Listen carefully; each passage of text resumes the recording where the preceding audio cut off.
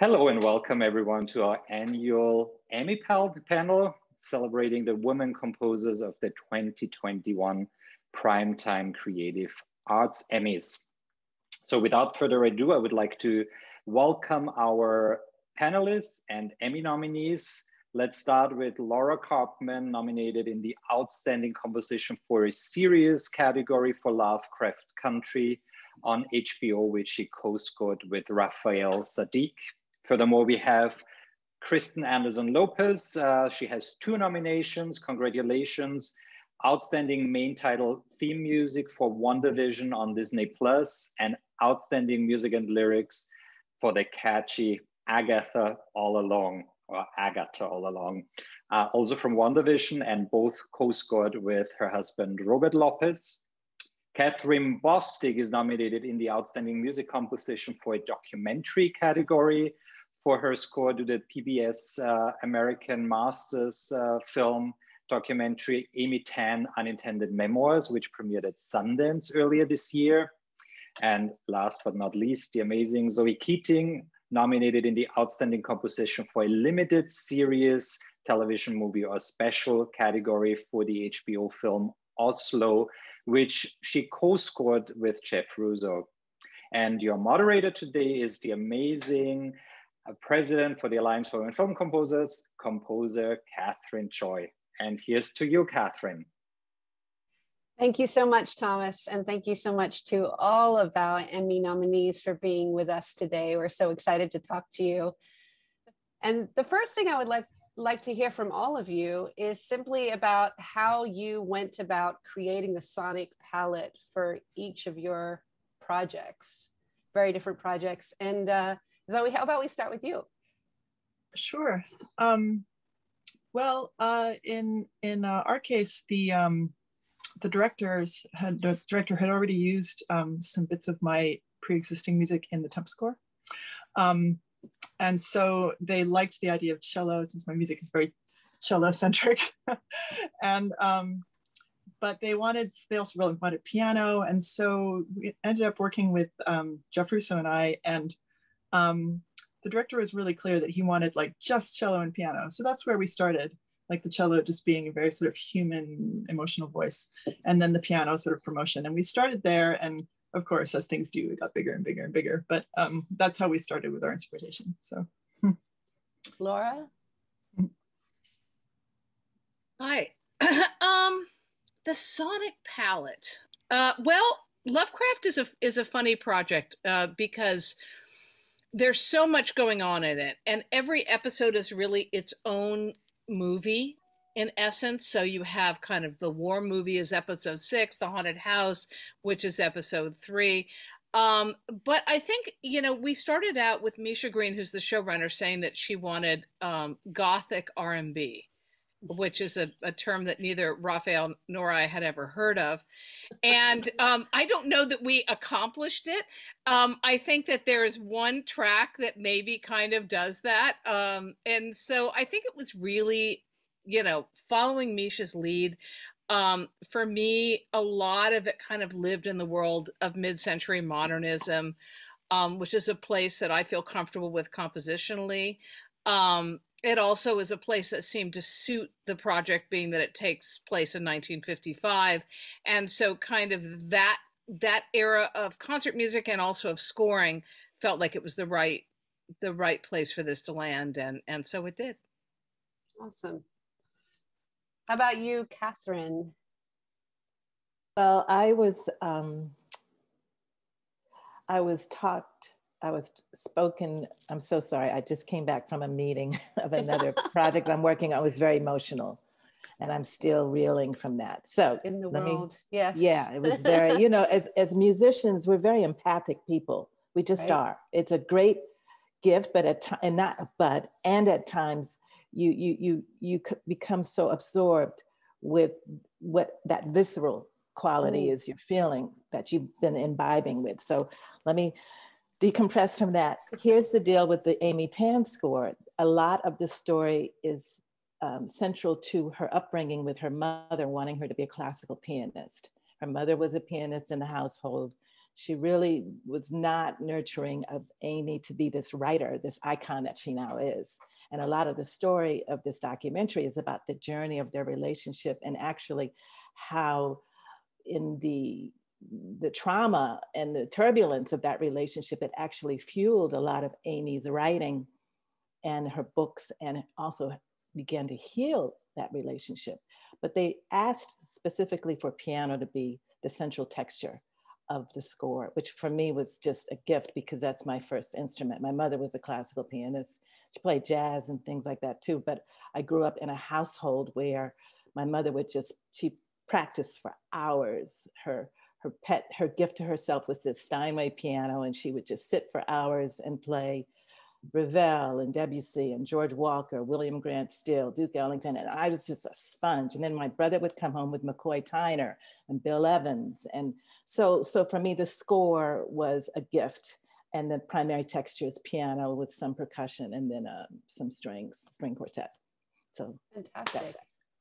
All right. And finally, you, Kristen well talk about a, a tonal shift um, from yeah. kathryn you know i wish my mother was playing that kind of music um, i was watching a lot of tv in the 80s and sitcoms and reruns um, so when they came to us with this job all of those hours that my mother had said, get outside, these hours in front of the TV are wasted. Actually, all those hours um, led to, oh, I just spilled my drink. Um, all those hours led to uh, just TV music from I Love Lucy and My Three Sons on lives in my soul and in my body. Um, and, and so it was such a joy to get to basically take a sick day during my childhood, which started with I Love Lucy, and you'd go through the decades. You know, by 11 o'clock, you're in the 60s with that girl. By three o'clock, you're in Partridge Family and Brady Bunch. By um, six o'clock, you're heading into um, 80s prime time. And um, honestly, the hardest one for us to crack was the 90s because that's when I was in college and didn't have a TV. Um, but everything else lived in my body. Um, and then at the nothing good happened in the 90s, so you're okay there. No, come on. uh, oh, um, we actually, you know, went to the original Riot Grrrl um, to get the vocals there, so that was a, a huge, wonderful honor. Um, but uh, at the core of it, my husband and I knew that it was about grief. Um, mm. And that it needed to all be unified. It was a someone dealing with grief and dealing with it through stylizing it through the decades yeah. of TV she had in, invested. And so at the heart of it is this motif WandaVision. Uh. Um, every single song, I, you know, from the the first one, it's just WandaVision, and by the next one, next one, it's WandaVision. What WandaVision? And by the even Agatha All Along, which I loved that our host um, called it Agatha all along. That was that was the coolest. Uh, but Agatha all along, um, the whole accompaniment is dun dun dun dun yeah. dun dun dun yeah. dun. Um, and it had the devil's interval in it, the tritone, um, which was sort of unsettling. Um, you know, it was it was the unforgivable uh, interval in early early music, and that is WandaVision.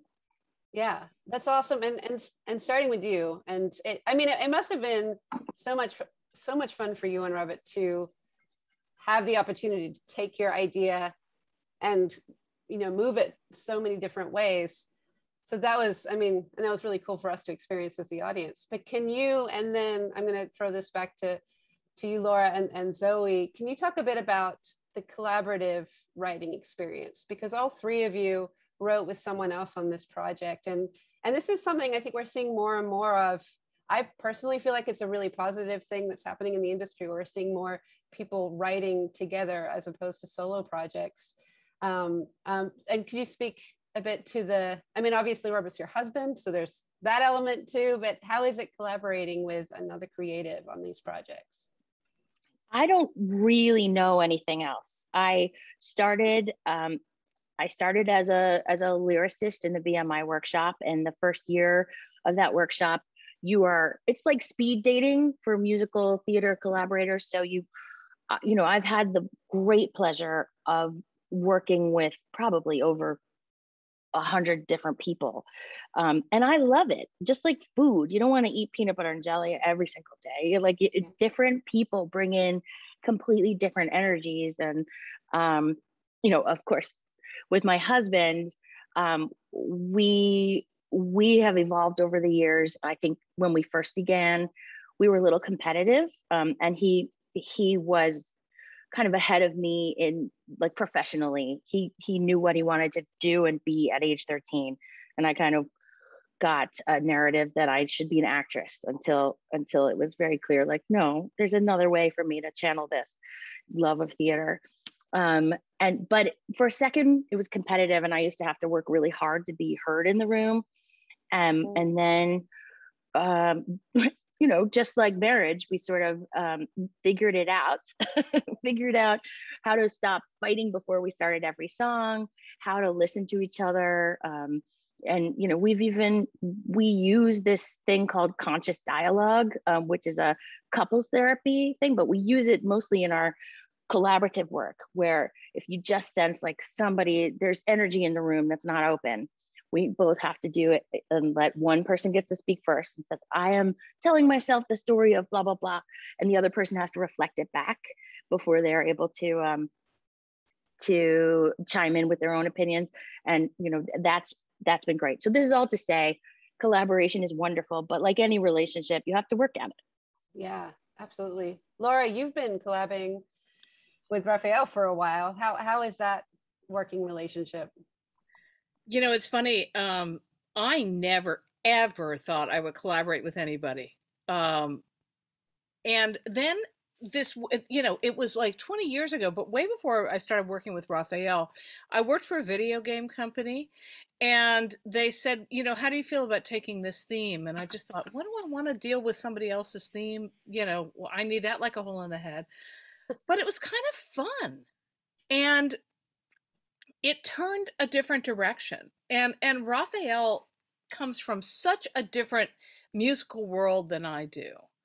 Um, that it's that I find it exciting. Um, I mean, it's it it challenges me, and the way that he makes music, and the way he thinks about music, is so different from the way that I think about music. Like, so for him, and I, am actually trying to find this more in my in the way and it, it's fun it's so funny you said this because i just did this today without really realizing it.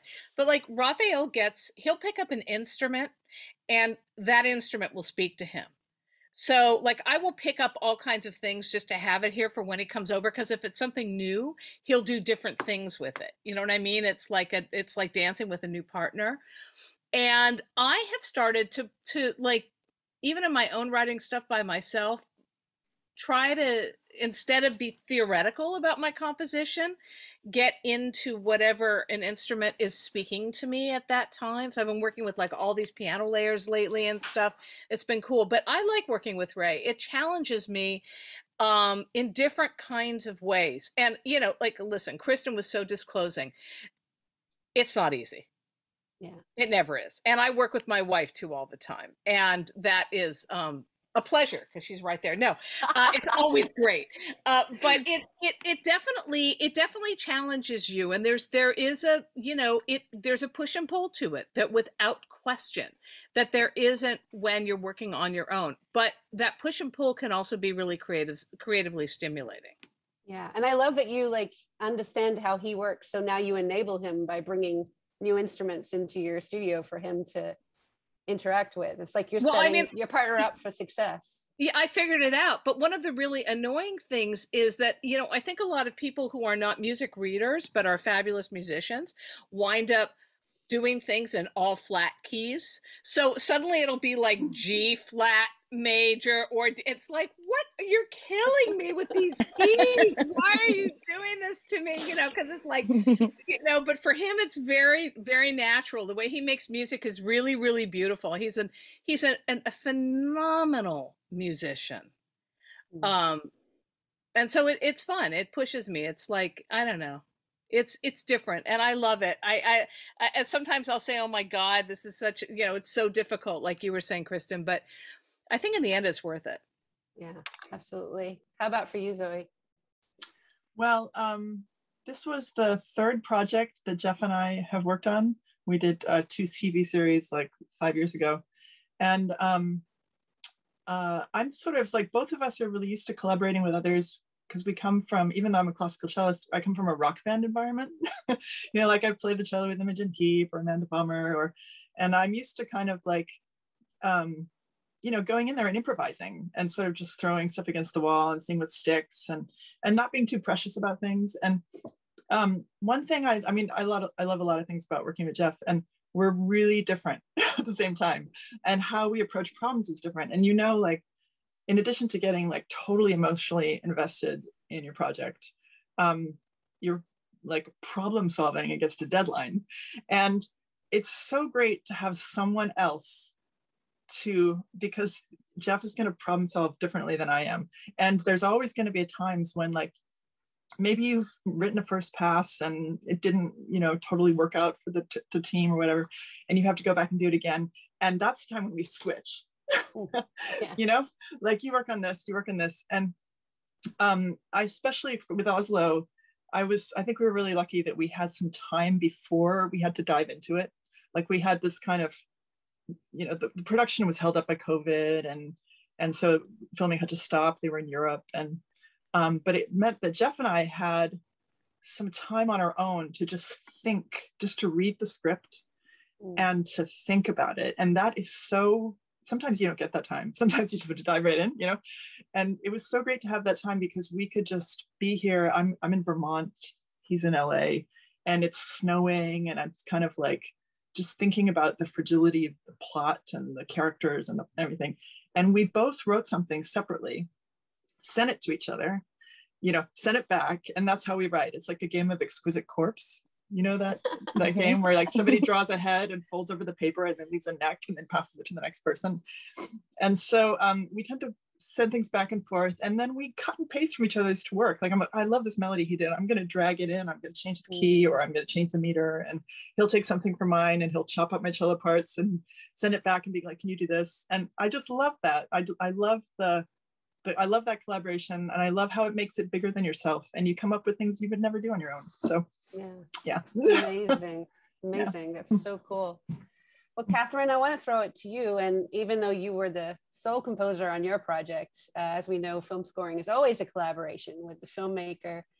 And also, I wanted to ask you, you know, for for the other three on the page here, we had, it was TV projects. So, or always had that you know opportunity for for um, Emmy acclaim and and that kind of path. But for you, when you start working on a documentary, you never know where it's going to end up. And you went through a Sundance premiere, and now you have this Emmy recognition. Could you talk a bit about your journey with Amy Tan on this documentary and the process of scoring it and and getting it to this point, this acclaim? Well, you know, I I look at each project as is is a gift of storytelling, you know, and you never know how things are going to end up. I mean, I I create music because that's what I love doing, and I feel really fortunate that I'm able to to make a living doing what I love doing. Um, so this particular film, um, Jamie Redford uh, approached me, um, I guess, a few months before before it was in post. And um, I had worked with him on a previous film that he had done, the, the film called Playing for Keeps. So we had a really great rapport and synergy. And the whole team that he that he was able to sort of call forth, if you will, the producers, the editor, we all show up with reverence. We all have a sense of reverence for the story and for the intention of what he wants to wants to do. I'm talking about him in present tense, even though he passed away just as I was starting. So part of my fuel was the grief that mm-hmm. I was feeling, that we were all feeling. And the grief um, made the reference even more, uh, more prominent. So, um, you know, I just, I always just think about one foot in front of the other. You do the best you can. You, you, you show up being of service to the film. And in this instance, the editor was was sort of left to, to helm the ship. He was left to really be the go-to person for all the, the feedback and, and, and the notes. And, and fortunately, he was also, he's also a musician, Jeff Boyette. He's fantastic. and he had temped the film. We didn't have much time. I had three weeks to, to do the score. And, and be, because there was such a fluidity and how we all came together, not only in the grief, but in the, the, the incredible multi-dimensional aspect of Amy Tan's story of her journey. We just all, it was all like a hand in glove, you know, and when you get to that place, you don't, you don't think about constraints. You don't think about deadline. You don't think about, am I going to get an Emmy? You don't, you're just showing up and you're very much involved in this incredible energy field of, of collaboration. And we all had, we continue to have great respect for each other.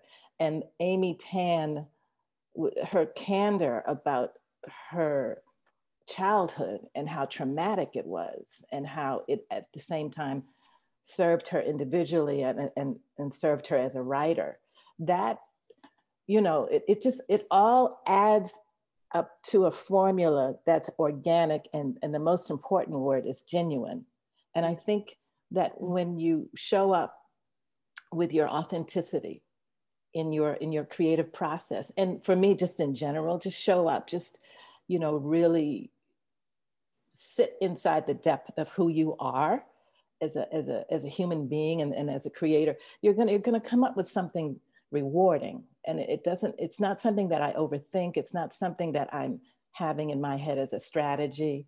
I'm just loving this gathering of creators and of the intention of telling the mm. story. So, so that's why, even though I had three weeks and it was easy for me, you know, piano is my instrument along with voice. And so I literally just sat down and played to picture. I just, I mean, Jeff had temped very good and strong guidepost, right. but there was that trust and that faith. So that's how we got it done. Awesome. Three weeks. That's incredible. Um, and this kind of speaks to uh, Emily Ippolito's question um, for all of you. How long did you have to work on these things. We hear about the crazy timeline of TV. So I would love to hear from from Laura and Zoe. Like you know, you were working on an episodic situation, and uh, Kristen, you were too. And I'll come back to you because your situation is somewhat unique. But for for for Zoe and and then Laura, how much time did you guys have to turn around these episodes once once you know the schedule kind of got into its swing? Zoe first. Um, oh, sure. Um, well, you know, Oslo was a movie, so um, oh, that's right. Know, first, first we first we got this we got the script, but um, we didn't have any footage for quite some time. Um, while they, you know, filmed over in um, uh, in Prague and Dubrovnik, um, and then when we got the lock picture, we had six weeks to a full delivery. You know, finished, oh, recorded. So that's you know everything composing you know and and we had done tried to do tried to be prepared for that moment but you, never really you, you need the final version of the film like stuff had to be reworked. And so yeah we had we had six weeks really from lock picture until you know the air date was like that the air date was really soon after delivery. So yeah. Incredible. Six weeks. Mm-hmm. about laura how about for you with the episodic situation? Well you know lovecraft was a bear it was 10 episodes of wall to wall orchestral music during a pandemic. Um, so, seriously. And there was a little opera in there too at, at one point. Um, we, uh, you know, first we had to um, invent an orchestra, which we did. Um, and then we had to train that orchestra to record remotely because we were first out of the pack with all of this stuff, uh, which we did. Um, and then at a certain point, I decided that my family and I should move to Canada. So, so um, and, just like we had this new puppy, and, and I keep saying, whose idea was this? It was my idea. Who, whose idea was it to move to Canada? It was my idea. So that we did that too. Um, it was we started working on it in March, and the, and then we finished the last episode in August. Um, but it was it was an absolutely massive, massive undertaking. Um, and you know so much of it because it was recorded remotely um and it's i think it's very similar i mean i know chris and you guys recorded in in vienna um i it's it's it's a very similar process where before you send a score off to people if you're not going to be there producing it the score's got to be perfect. It's got to have everything that you want to say about the music in the score because there's no other opportunity uh, to address it. Once it's recorded, it's recorded, and then you just fix what you fix. But it, Lovecraft was a very, very intense experience. Um, uh, you know, we were doing other projects, of course, simultaneously, but it was it was definitely the main the main dish for quite a while there. Yeah, absolutely. And thank you all for the Canada projects, uh, for the Canada comments. I loved it up there but we're back in LA because I really decided that I cannot do cold winters anymore. I'm very sorry. That's so funny. Kristen, what what was your delivery schedule? You you have a different title sequence for each episode. Was that like all done kind of in one hit, or was it? You, well, uh, it was about two years ago today that we got a call from Matt Shakman, the director, saying, "I have this crazy thing. I can't talk to you about it it really was like a CIA call. It's like, I can't talk to you about it, but it's really fun. And I think you should do it, but you have to say yes before I can give you any of the material. Um, because Marvel is so that's Marvel. Yep. so careful about it. I mean, it really was like the firewalls had firewalls. Um, but he gave us just the very basic thing. And it was, it fell in this beautiful moment in our lives we just finished Frozen 2, which was a bear. And we had this window before we were going to have to start um, a new movie and, and do the promotions and stuff for Frozen 2. So it was this fall moment of September and October. And we were like, we can write, we can write nine, you know, eight, 90 second songs in in these weeks um, and then once we started writing i think we we got the girls going in school and then it really, there was one week where I think we hit the 50s, the 60s, the 70s, um, because they just birthed out of me, like literally in the shower. I would, I, I, once we would know what the hook was going to be, I would be dripping wet and run over to my notebook and scribble something, hand it to Bobby. He'd go to his piano. And, you know, by noon, we'd have a, a a piano track and we'd be singing the demo by two and we'd send it to Marvel by four. It was so much fun and it was so different than having to you know make likable characters and deal with the architecture of a whole giant story and making sure that the that you've got uh, eclectic enough score so that it covers the four quadrants. And this was not that. This was was like have fun. I would do this for free at a party. So um so it really happened really fast. And i think we wrote the agatha all along was the last one to crack. And i think one of the issues was just knowing which decade it, the original the temp the thing that was in the scripts said that's so agatha but as i mentioned the 90s when that's so raven was happening i wasn't watching tv i was hustling to try and get somewhere in this business.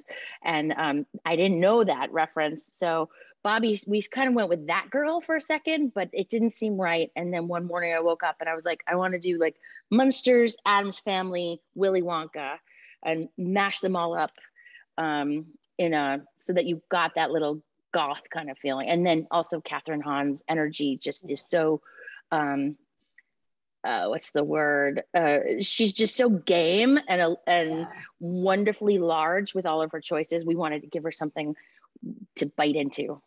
Yeah, absolutely. I love that description of her. She's amazing.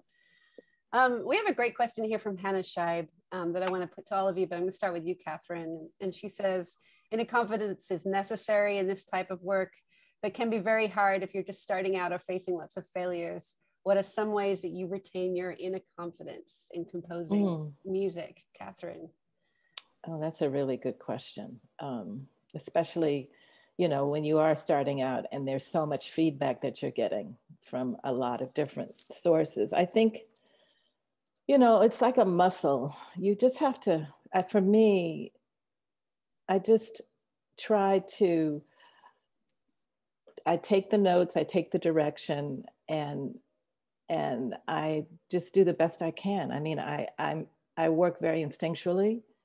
And you have to know that you're going to have to make modifications. You're going to have to maybe even throw things out completely and start all over. But you, you, you have to work with not letting it be a reflection on you as a composer, as a person. It is just, it's the object of what is needed at this time.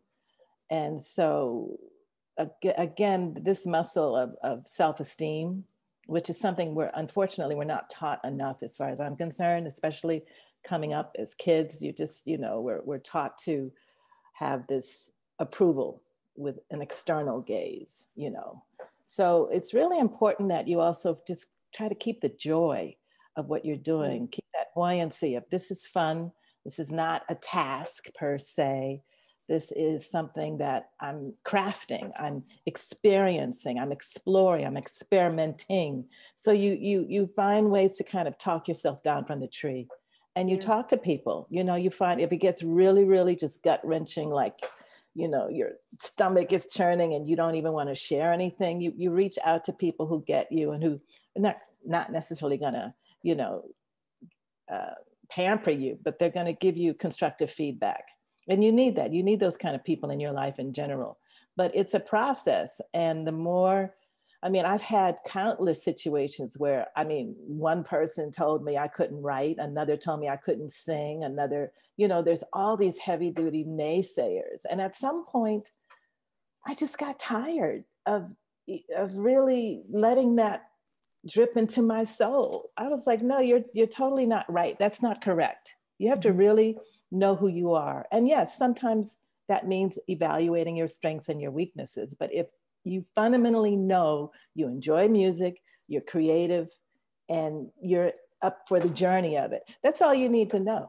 I'm telling you, the moment you yield to that more than the other stuff, that's when the bounty really happens. Just you know you make you focus on yourself not in an egotistical way but just the unfolding mm-hmm. of it does that make sense i kind of went off on that. yeah no absolutely. stephen stephen sondheim wrote this beautiful song called move on after he had he had had the worst like merrily we roll along closed on broadway after nine performances the whole industry had been mm-hmm. piling on he started working with this new person, James Lapine, and and um, wrote Sunday in the Park with George about an artist. And he, and in this in this piece of work is this gorgeous song called "Move On." And at the end of the piece, um, it says, "Anything you knew, anything you do, let it come from you, and it will be new.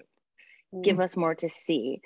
And I've meditated on that that song so many times, uh, and just to sort of take my version of it that I sometimes have to say, remind myself. And, and it's such a simple thing and it's so hard to have faith in, but no one on this planet has ever been through the things that you as an individual have been through. You have your own dictionary that no one else in the whole world has. You have your own references of music, the birds that you grew up with, the song you heard last night, that moment that the ex boyfriend dumped you and you felt the deep pain, they all live in you in this beautiful individual recipe that will never exist again. And all your job is as a writer is to show up at the blank page or at your keyboard and pour a little bit of that out. Just mm. let it pour out in however it wants to come. And if you just have faith in that and a practice that allows you to have faith in that, I also think it's really important. If you go too long or you don't have a routine or a habit, it's too easy to put it off. There's too much good TV. Mm-hmm. Um, uh, so ha- having a practice where you just start pouring your your truth, your words, your notes out um, it's it was kind of mind-boggling when I was 27 and I wrote my first song. It, I'd been so scared for so long, um, and it went so well. Uh, like the audience loved it, and then the next song, and the audience loved it, and I was like, really? All I have to do is write this, the, all the stuff in my head, and mm. people like it. Like that was just mind-boggling. But it, and it's not for everyone. Not every single person in the audience is gonna love what's in my head, but um, that doesn't matter. Just show up at the page. pour yourself out. And I wanted, to add, yeah. oh, I wanted to add something to this. Um, I was just going to say that I'm somebody who has always struggled with, you know, I'm very shy. You know, I might not speak up. I can be kind of lacking in confidence sometimes. And, um, uh, but when I'm a composer, I feel like I trust myself. And I know that when I feel something, I know it's right.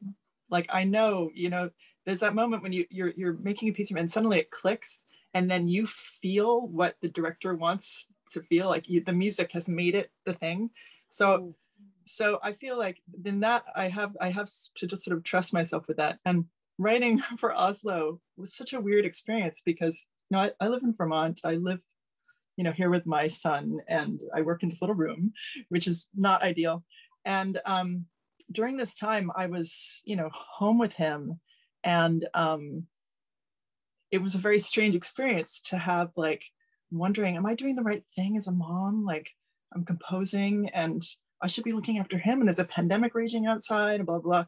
And um, I had to like look in the mirror every day. And I actually had a little thing, some little, I did that thing of taping things on the mirror of like, you are a great composer. you know, you're a great mom and you're a great composer. Um, and just sort of like, and working on the project was, it gave me so much more confidence at just just to be doing something that felt like it was not just you know trying to live through a pandemic yeah. um, and uh, so it, it, it, was just so surreal I, I, I hope this is over soon and none of us have to have to work in these conditions again but there it's it's like to everything about myself was called into question about parenting about composing oh, yeah. about it all so you just got to trust yourself. And I, I, think just that inner confidence I have about my composing really got me through. hey, Zoe, how old is your, how old's your son now? Um, he just turned 11. So, I mean, mm-hmm. I don't know what, what your experience is because I have a kid about the same age, but mm-hmm. it, it's like, it's so funny because now Benny's starting to get us, you know, for the first time, he's starting to get, I mean, he's his, his own musicianship is really kicking mm-hmm. in in a way and now he wants to help out in the studio oh and yeah he, and he's like he's like getting what we do more and getting the accomplishment of it and stuff and it's mm-hmm. it's it's just so beautiful mm-hmm. and satisfying and and mm-hmm. and reaffirming about all of that you know um i have like a ton of things to say about everything that people have said but i i will say two of those things one thing is i remember when i was a kid and my mom was painting all the time. And she always would close her door and lock it. And I decided that when I became a parent, that I would do my own thing, but the door would always be open. And as a result, there are literally no doors in our house, like anywhere. I mean, it's a little crazy making, but that's another story. I think if your door is open, you're doing great, you know. And and mm-hmm. I, I, mean, I I think that's the key. But the other thing I wanted to say about uh, this young woman who uh, questions herself is Nora, my wife, and I were just talking yesterday, and I've never spoken about this publicly. There was a guy at Juilliard, a famous composer, or he thought he was famous at the time. His name was David Diamond. And he was considered one of the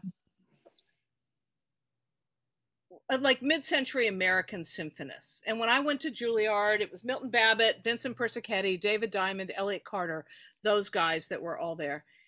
And I got rejected twice from Juilliard before I got admitted. Now, of course, I hold a doctorate from there, which I, you know, this is many years ago. Um, but Nora went there and she has two degrees from there. And this guy, David Diamond, 20 years apart, she's 20 years my junior, told us both the, the, the same thing told us that neither of us should ever write a string quartet, that it was too precious a um, you know, a form.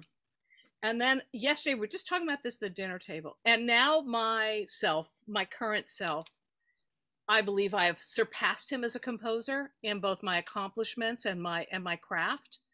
Um, I'm more well known than he ever was. And I would love to go back to him and say, no, you should never write a string quartet.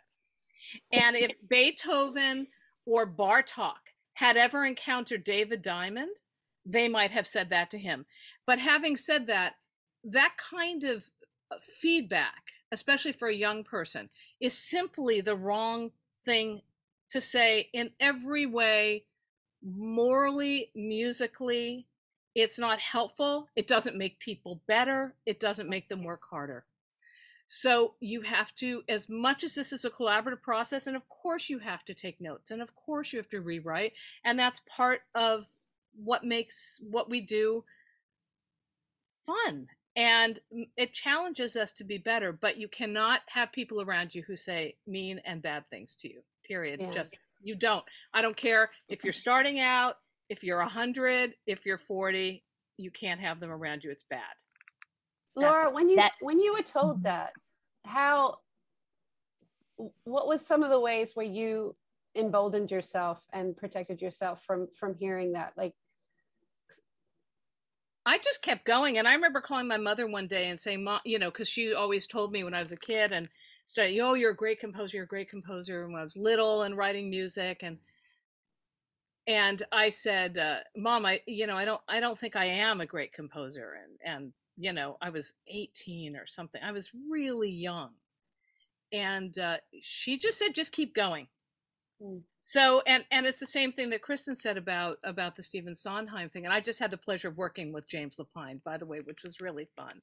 But um, but it's just you just you just keep going one foot. And I just I mean at this that point I didn't know how to do anything else anyway. You know, it's like what am I going to do? Ski?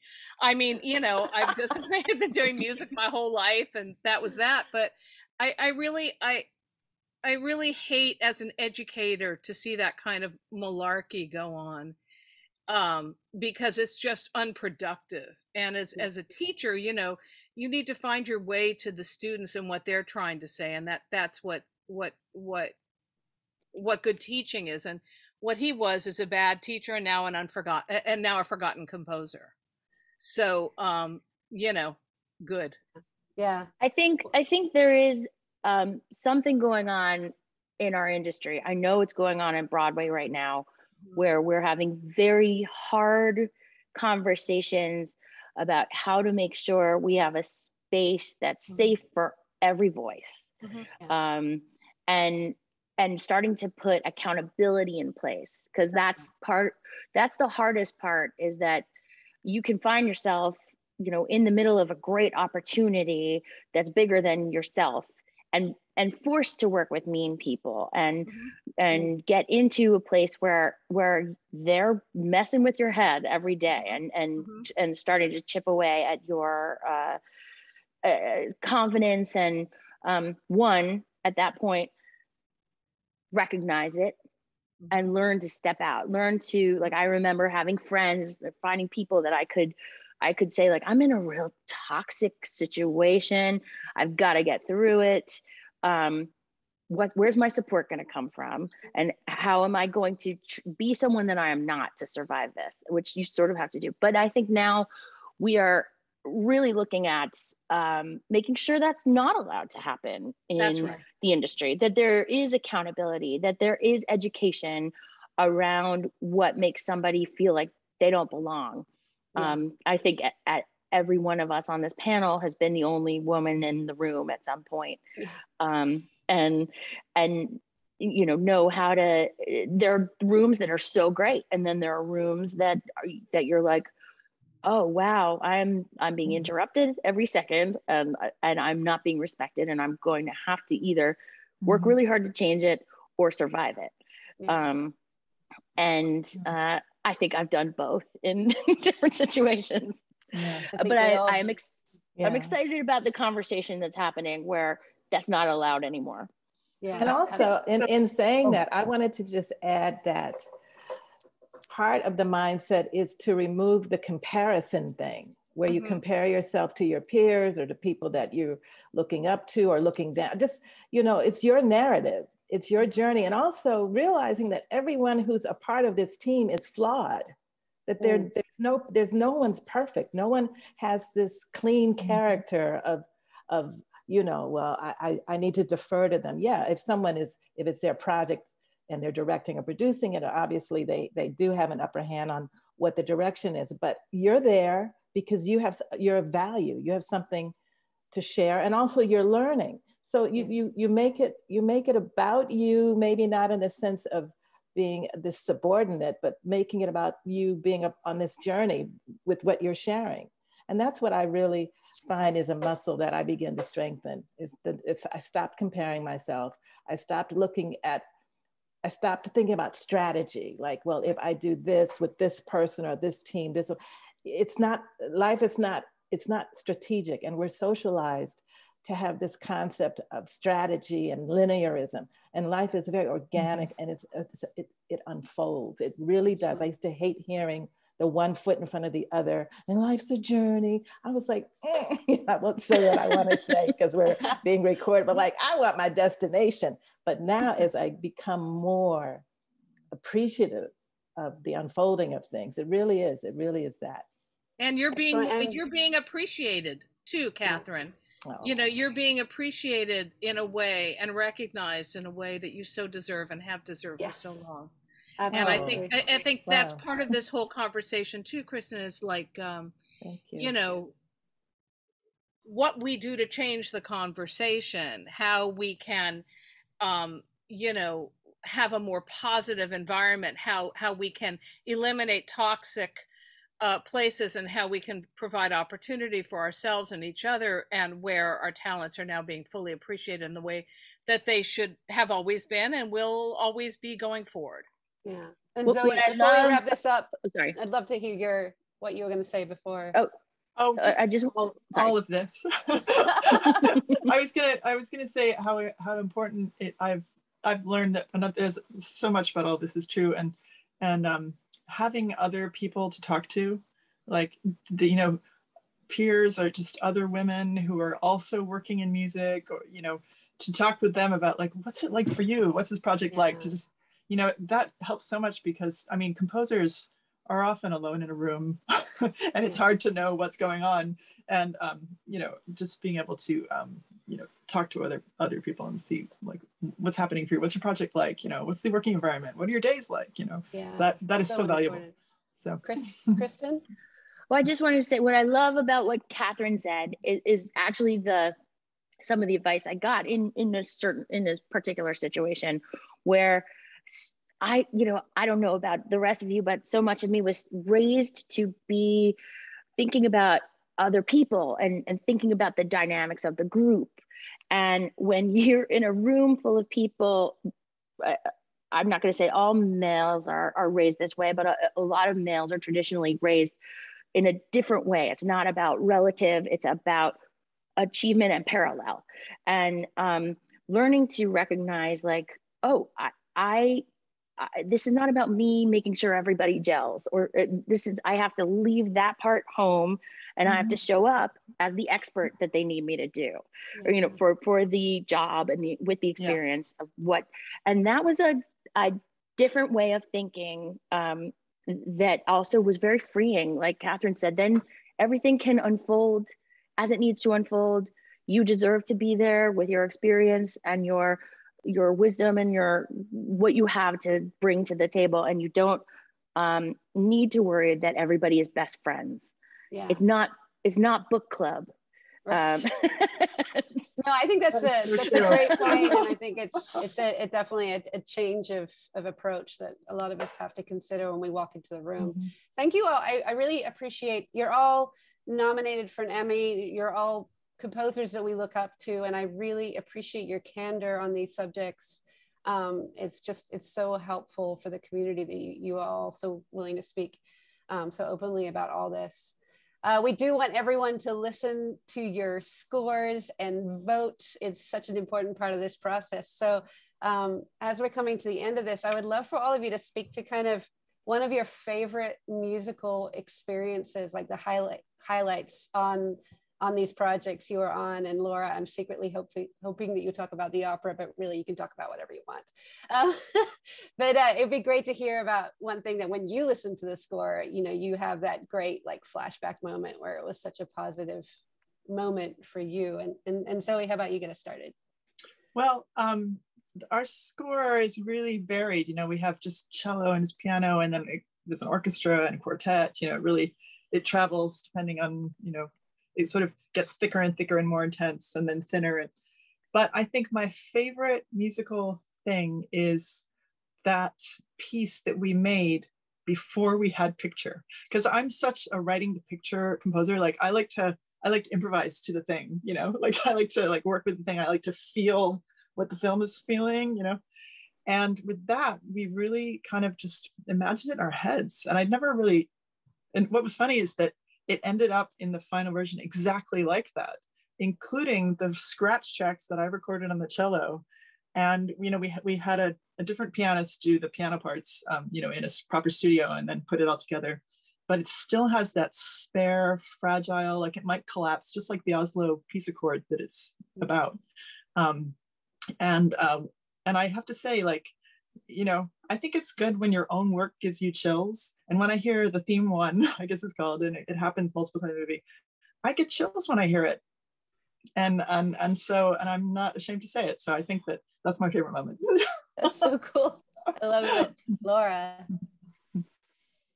Well, I don't know if I would say it was fa- my favorite moment because it was a very painful moment, but it, it, being able to write a piece of opera to be broadcast on television was um, was pretty amazing. And and I'll I'll give you a little little bit of background, uh, some of which I've talked about, some of which I haven't. Um, in Lovecraft, for those of you who've seen it, it, there is a there was a licensed piece of, of a poem by Sonia Sanchez with her reading it, and I've long been a fan of hers. She's a, a brilliant, brilliant poet, and I and I since this has become a friend, which I'm so honored to say. Um, and I thought, well, what if we were to take her words and set them again so you hear them twice because they're that important? Catch the fire um, during the last scene and going into the end credits. And um, basically, it, I wrote this during uh, in June of 2020, so everybody knows what was going on in the country, and um, it was over a scene of Tulsa burning, um, and there was a piece of music. I don't know. I'm thinking so much about when I was a, a student lately, but I guess I am. There was a piece of music I was obsessed with, and it was uh, called Knoxville Summer of 1915. It was written by Samuel Barber, and it was a poem by James Agee. And I listened to that piece over and over again with Leon, Leontyne Price singing it, and um, I love it, but it was a incorrect version of Knoxville Summer of 1915. It was a romanticized and, and inappropriate version of what was going on. And I thought, maybe I have a chance to fix this by using Sonia Sanchez's words and Janai Brugger's voice, and by by doing this over the over these images that were of of Tulsa burning, but but Journey walking through with a ring of protection. She's protected by her ancestors and by magic, which she now has access to. Um, and so it was a very um, it was a privilege to be able to do that and an honor and very touching and and the outpouring of um, of reactions to that piece from every imaginable kind of person from the opera world from pop stars from fans of the show from people feeling that that moment had the dignity that it so deserved was very very creatively satisfying. Mm, awesome. Thank you. Kathryn? Um, you know i I don't have a favorite moment because the entire process was just pure reverie for me.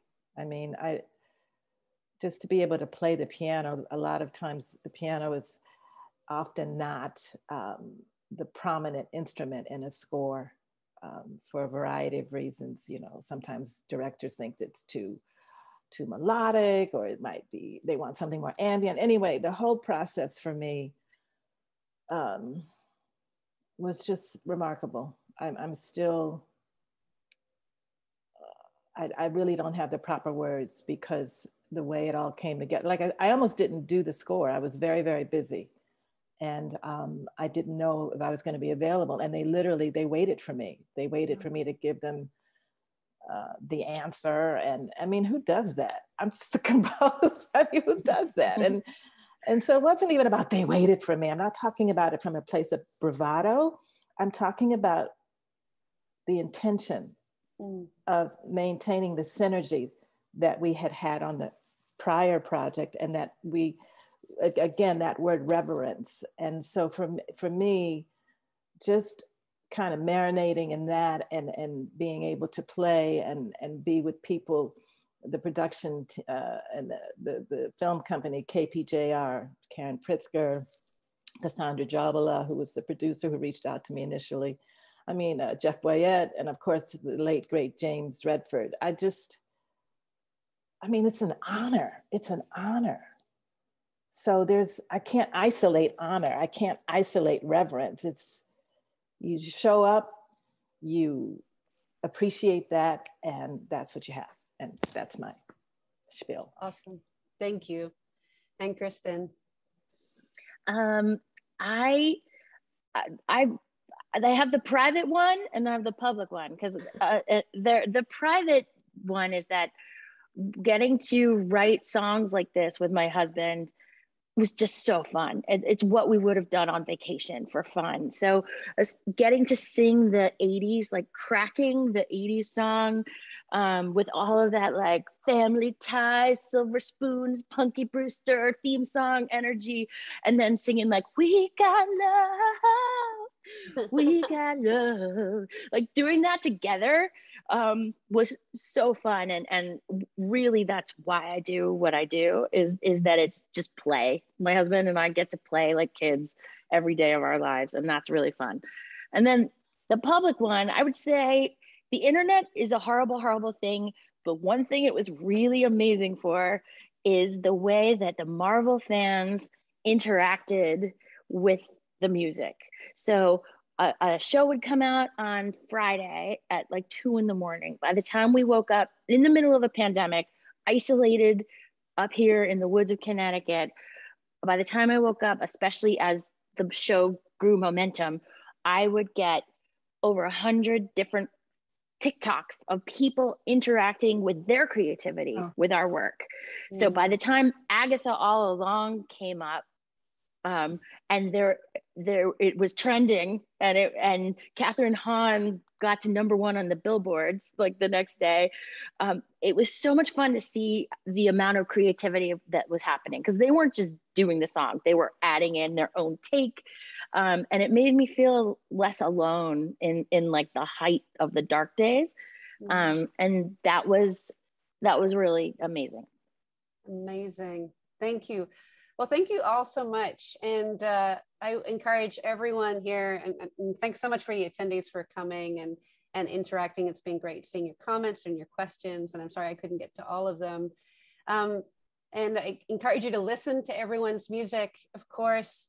Uh, this is an Emmy panel, and, and Emmys are voted on by Emmy members. And so a, a lot of our attendees, you know, I, and, and Laura, you may be able to quickly speak to this, but you know, I know these are awards, but it's so important for you all if you are eligible to become a member of the, the different academies so you can become a supporting voting member and and be an active part of your community. And, and Laura, can you speak to that just really quickly? Yeah, I mean, Catherine, you know, um, one of the goals of the AWFC when I was president was to really diversify the voting um, blocks in, in these organizations because we weren't getting awards and we weren't being considered and we weren't getting nominated. And I noticed something that Thomas said the annual AWFC panel, that in itself is extraordinary because. Yeah you know, in the olden days, I would be the only woman out of, you know, 30 if I got a nomination. And, and it, you know, it, it, so we're, we are changing things, but um, changing it means that you've got to get active. You've got to get involved. You need to become members of, you know, the Motion Picture Academy, the Television Academy, the Recording Academy. It's not that hard to figure out you know, Catherine and other people at the AWFC will help you, and um, it is absolutely essential. Actually, essential for um, for us moving this uh, this big bear forward.